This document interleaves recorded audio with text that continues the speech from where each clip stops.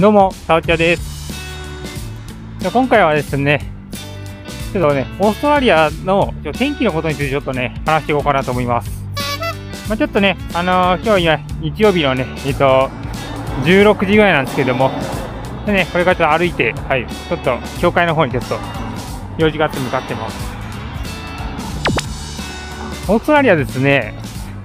天気が、あのーこの国、まあ一応大陸なんで、結構ね、あの場所によってね、天気が全然違うんですよ。天気って気候がですね。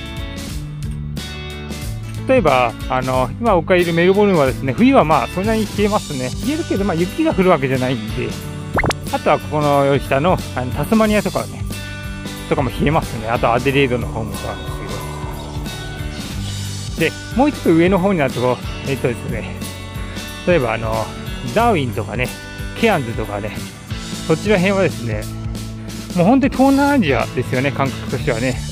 特にダーウィンの方とかっていうのは、あの、完全にその季節が、はい、冬でも30度超えてるぐらいで、すごい暑いなって感じしますね。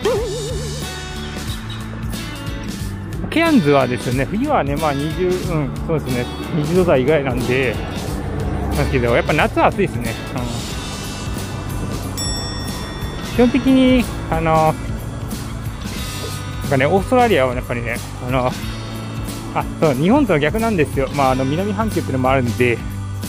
あの、北に行くと暑くて、南に行くと寒い。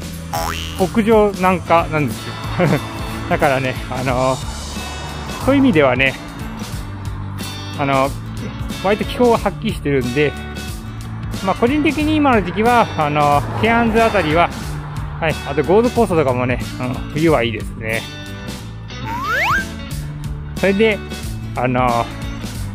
まあ、春とかね、秋に関してはシドニーとかね、あメルボルン過ごしやすいんですけど、うん。まあ、夏もね、それなりに暑そうな日もあるけど、それでも、うん。やっぱり上の方のキャンとかゴールドコーストとかよりは全然いいかなって感じがしますし、で、夏の時期は、あのタスマニアがね、すごくいいですね。夏でも涼しいぐらいなんで、あの、はい、10度台とかに20度ぐらいか。うん。そう。結構メルボルンも日によっては結構暑くなる時もあるんですけど、うん、いいですよね。やっぱりね、あのもし自由に移動できる、にあれだったら、えっとですね、やっぱり夏はね、涼しいとこ、寒い時は暖かいところに行くっていうのがやっぱりいいのかなと思います。特にね、移動するとね、本当に、あのそういうの避けられますしね。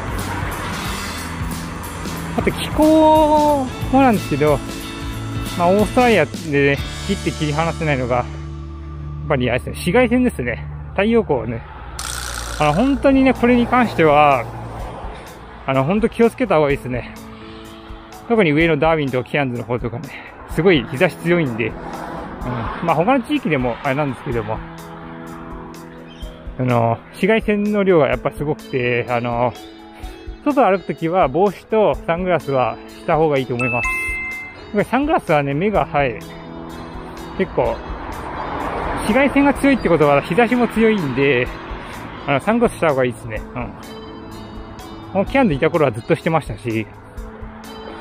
まあ、あの、今メルボルンとかはそんなにないんで、しないですけどね。うん、そんなにはし、する機会なくなりましたけど、やっ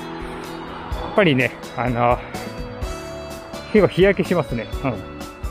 うキャンでいた頃、あんまできる限り、あの、日差し避けるようにしてたんで、夏場ウーバーね、あの、昼間はやってなかったし、うん、できる限り、その、日が出ない時に、ウーバーとか済ませてて、って感じで。まあでもね、今はね、あのメルボルン来てからはそうですね、もう、あとはね、寒いんで、太陽をね、まあ、少しだけ当たるようにしてますけど。まあこれ日本でも言えるのかな？でも、日本はですね、あのまあ、夏は湿度高いですよね。すごく高いなって感じがするから。オーストラリアはね、あ気温暑くても木陰に入れば、夏でも涼しいとこは結構あるからまだいいんですけどね。うん、こういう感じでね、あの、結構ね、あのまあ、オーストラリア以外にも他の国にね、いろいろ行くと、季節のね、感じ方っていうんですかね、大体わかると思うんですけど、ただね、北半球のね、結構上の方の国とか結構暑いみたいですね。インドとかでエジプトとかすごい暑いですね。イラクとかの中東の方とか。まあ、湿度がないって言ってもやっぱ40度超えたりすると本当にきついなって感じで。まあ、シドニーでもね、一回ね、40度超えた日あったんですけど、すごく暑かったですね。その時ね、ホホステルにね、あの、エアコンない、あの、ハンドミーのところだったんで、あの時はですね、ショッピングセンターの方に行ってちょっと涼んでましたね。やっぱりね、空調ないようなとこってのはね、ちょっとね、あんまお勧めしないですね。うん。ハンドミーのあるとこって、あのー、夏はいいんですよ。だ冬はね、寒いんで、底冷えしますね。うん。で、ちょっと今までですね、まだね、アジアとオセアニアしかね、行ってないんで、あの、本当に寒いとこって行ったことないんですよ。だカナダとか、あとはロシアとか、なんかもうノルウェーじゃないですけど、そういう感じのちょっと雪国みたいなとこは、ね、なんか、想像以上に寒い場所は寒いって聞きますね。なんか、冷蔵庫みたいな感じ。冷凍庫か。まだね、そこまでね、極限に寒いっていうのはね、あの、感じたことないんで、冬場とかね、韓国とか行けば日本より寒いと思うんですけども、ね、あの、今後どうなるかちょっとわかんないですけどね。じゃあ行ってみたいですね。うん。やっぱりその、暑い国もね、暑いなりに大変で、うん。あれですけど、そうですね、やっぱり、そういうふうに全く違う環境に行くと、カルチャーショック受けますよね、本当に。まあ、インドとか行った時は本当にびっくりしましたけど、うん。一つだけ言うことはですね、あの、一つとして同じようなっていう国はないんですよね。建物とかもそう。雰囲気もそう。もう国が違うってやっぱり、もう明確に違うんだなと思って、その、全く別の世界っていうか、うん。まあ、ヨーロッパとかでもなんか、ヨーロッパとかなんかそういうところの小国だったら、多少は同じかもしれないですけども、まあ、日本でも日本と韓国全然違うじゃないですか。あ中国もそうだし。まあね、そういう感じでね、うん。やっぱりあのー、国がね、あのー、行ってみたいですよね。いろんな国にね。同じ、同じ国って一つとしてないから、やっぱそういう意味でやっぱ世界一周したいですよね。うん。まあ、世界一周で国の数数えるのが、ちょっとは思わないですけども、そうですね。やっぱりある程度はね、知れた方が個人的にはいいかと思うんで、結構重要かなと思いますね。うん。割と風がね、ない地域はね、すごくね、歩きやすい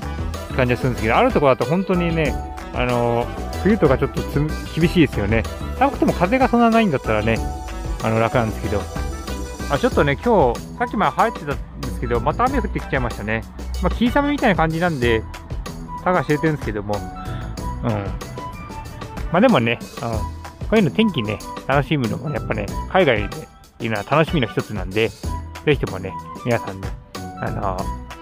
まあ、海外ね、あの、ごしの際は、あの日本との天気の差をね、感じるっていうのも楽しみの一つを持ってほしいかなと思います。ということで、今回以上になります。ご視聴ありがとうございました。次回動画を見ていただければ嬉しいです。では。